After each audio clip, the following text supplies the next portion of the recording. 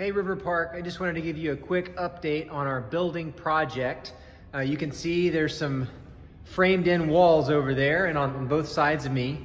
Uh, behind me, that's gonna be the back wall of the stage. And then over here is gonna be a hallway that goes toward the kids ministry areas. And upcoming this Saturday, we're gonna have a work day and we're gonna actually be turning that empty space back there into a stage. So if you're interested in, in putting together a stage, you can come help us out on Saturday. And uh, we're about to haul in some lumber here to get ready for that. Also, we're gonna do a project where we label some of these wires that are hanging from the ceiling to make the electrical work a lot easier uh, coming up in a couple weeks.